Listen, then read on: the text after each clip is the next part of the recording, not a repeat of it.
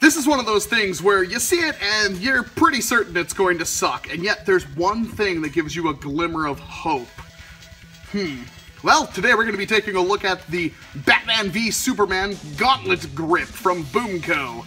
And I'm assuming there is a Wonder Woman somewhere because there's a logo right there and of course right there. And a very unenthusiastic looking, please just pay me now model. Which doesn't even look like she's holding the blaster. Interesting. And a DC Comics logo because why not? Conforms to the safety requirements of ASTM F963. Don't know what that means. And I haven't seen the movie. I'm not a huge uh, Superman Batman fan, anything. I mean, I have dabbled in it, but I do know that apparently Wonder Woman only shows up for like 12 seconds. So that's worth making two blasters based on her, right? Agile and compact, the Gauntlet Grip TM is built for accuracy and stealth. Perfect for an Amazonian princess who needs to draw quick and fire fast. Just hold it in your hand and feel the power! Jeez, they're pulling out all the stops for this one. Gauntlet Grip, Amazonian Bow. Amazonian Bow being a recolor of a upcoming Boomco blaster called the Slam Bow, I think. Uh, it's a slam blast with a rotating turret, so I don't think anybody really cares. Sorry, Boomco, I love you, but you make some dumb decisions. Blast more with dart storage, Gauntlet Shield. That's a shield, huh? Not only does it not have any kind of, you know, smart stick treatment on it, but it's not a shield. It is absolutely tiny.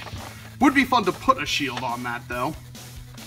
And blast faster with easy to push action primer. Now this is what gives me the impression this can be primed one-handed.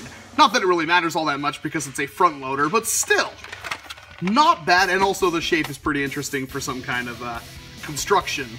You load the dart, push action primer to arm, and press trigger to fire. And yes, there is a trigger right here. Hmm, will this thing suck? Only one way to find out. I am very, very curious. Very, very curious if this thing is any good at all. It costs about eight bucks and you can find it, as far as I know right now, only on Toys R Us's website, which is a major disappointment. And of course, here is our, come on, instructions with no smart stick target. What's the point of making the smart stick darts if nothing you sell comes with the targets it sticks to. Oh, hey, it's got a rail clip right there. That's nice. So you can put this on like a, uh, a Nerf blaster too, I'm assuming. Do I have one around? Let's see here. Yeah, it'll it'll fit rather loosely, but since they're the same dimension, is there a clip it on there? Apparently not. And I notice it has like a little locking lug. Hmm, that's not too bad at all. It's a thing, that's for sure. That's a, something you could possibly use it for. It'd look great on the side of like a Rapid Strike or something. The plastic is very uh, car-ish. It's very glossy with lots of little sparkles in it.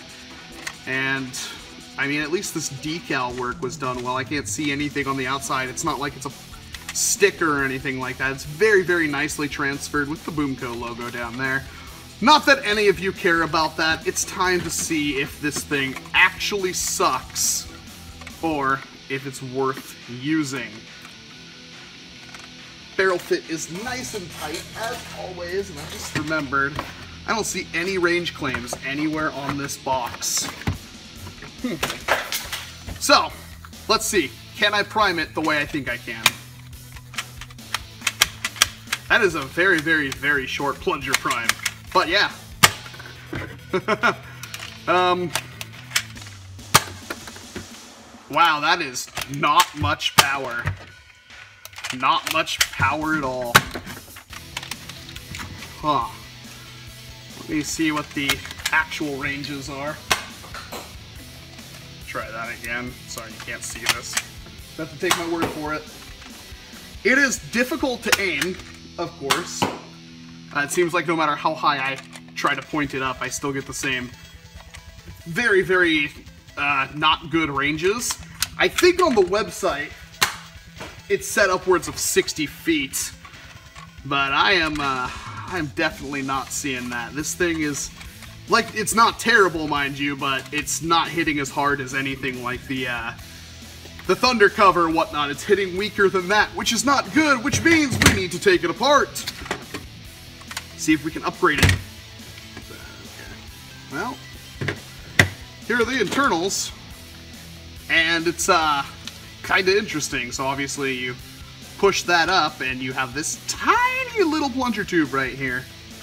And the catch is built into the top there. Let's see if we can finagle this out. And of course there's an L, L bend.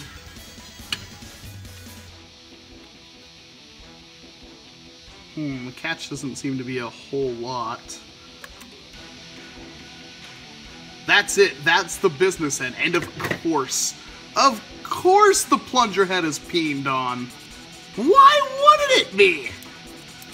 Beefy spring, not much of it. Would love to uh, make it hit harder. I'm not seeing any obvious air holes. It almost looks like this part on the back would be an air release, but it's not. Hmm. Hmm. Oh well. Doesn't seem like it has all that much in the terms of uh, upgrade potential, unfortunately. And in the same breath, it is kind of neat because it is, of course, a one-handed prime, and it's got an interesting grip, and it's very, uh, while it is large and cumbersome in the hand, it is somewhat what's the word I'm looking for? It's it's minimalist. It's very very low profile. You could easily draw this thing, and if you were to build it into some kind of little shield mechanism, that wouldn't be too bad. However, it's almost pointless to have a one-handed blaster.